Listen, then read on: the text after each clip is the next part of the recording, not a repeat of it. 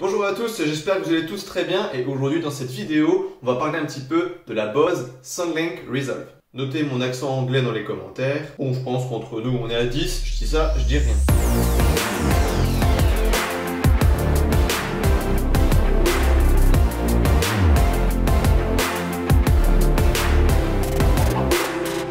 Effectivement, on va parler un petit peu d'enceinte. On n'en avait jamais parlé en plus euh, sur la chaîne. Et à défaut d'avoir le HomePod mini, pourquoi pas vous présenter une autre enceinte qui, en plus pour Noël, a des réductions. Vous le verrez par la suite. Et j'ai pensé que cette Bose était vraiment l'une des meilleures. Alors ça fait quand même un bout de temps quand même que cette enceinte est sortie sur le marché. Elle n'est pas toute neuve. Alors pour ceux qui ne le savent pas, mais je pense que vous le savez tous, Bose est quand même l'une des plus grosses marques d'enceintes connectées quand même. Elle propose vraiment toutes sortes d'enceintes, des petites transportables et aussi des très grosses. Elle propose des rapports qualité-prix juste excellents. Bref, on va commencer directement à parler de cette enceinte et Bose n'a pas lésiné du tout puisque vous le voyez, la forme est complètement cylindrique, ce qui offre la possibilité d'avoir un son à 360 degrés. Alors je vais pas trop rentrer dans les caractéristiques euh, bah, de la bestiole à l'intérieur, je peux juste vous dire qu'il y a trois choses à l'intérieur. Il y a un haut-parleur, il y a deux radiateurs passifs et un déflecteur acoustique omnidirectionnel. Ne demandez pas ce que c'est, je ne sais pas vraiment, je vous conseille d'aller voir sur le site directement.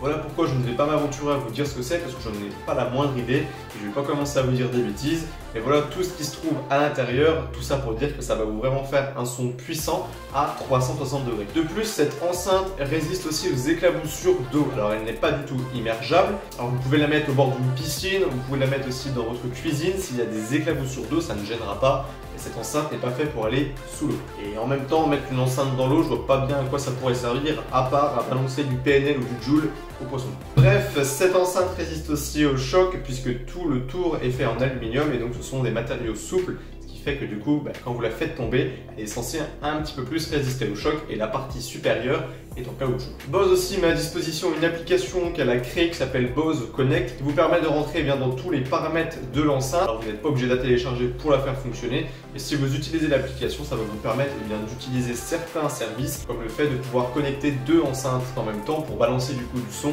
partout dans la maison. L'application est plutôt bien faite, j'en suis assez content de ce que j'ai pu tester et en plus elle est disponible sur Android et iOS. En ce qui concerne les ports sur cette Bose, vous en avez deux. Vous avez pour le rechargement qui est un câble micro USB vers USB. Malheureusement, c'est pas une USB type C. Et vous avez un deuxième port qui est une prise jack 3,5 mm pour pouvoir mettre des écouteurs ou un casque. Et juste en dessous de l'enceinte, vous retrouvez un pas de vis, un quart de pouce et vous avez aussi une petite euh, cellule, je ne sais pas trop comment appeler ça, simplement qui permet avec l'achat séparé d'un socle de rechargement et bien de pouvoir poser directement votre enceinte, elle va se recharger toute seule et vous pouvez en plus écouter de la musique en même temps. Forcément, qui dit enceinte dit batterie, c'est une batterie au lithium qui dispose de 12 heures d'autonomie. Alors on peut faire largement mieux, sauf que pour cette taille, je trouve qu'avec les bases qu'elle peut avoir, c'est juste excellent, il n'y a pas du tout de problème. Donc 12 heures, ça reste largement correct. Et ensuite, sur le dessus de l'enceinte, vous avez eh bien, plusieurs boutons de disponibles. Vous avez évidemment le bouton plus et moins pour augmenter et réduire le volume de la musique. Vous avez aussi le bouton d'alimentation pour pouvoir eh bien, éteindre et allumer l'enceinte. Un bouton d'appairage, donc Bluetooth. Et ce qui est cool aussi, c'est que vous avez un bouton multifonction dessus. Et donc quand vous appuyez dessus, eh bien, ça va tout simplement permettre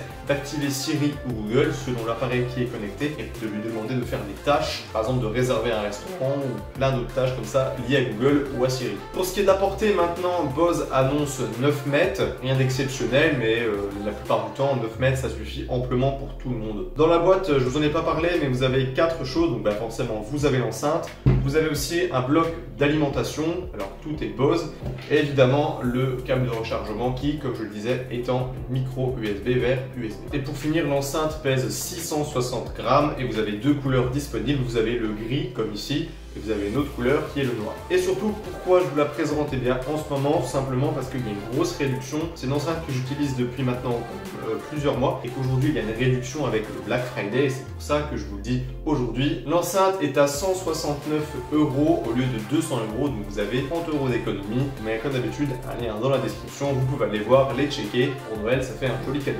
Bref, et eh bien écoutez, on a fini pour aujourd'hui. C'était vraiment un test assez rapide, hein, vraiment une opinion que je vous disais. Je vous la conseille énormément. Moi j'ai envie de vous dire, on se retrouve très prochainement pour de nouveaux produits. C'était Paul et puis bah à la prochaine.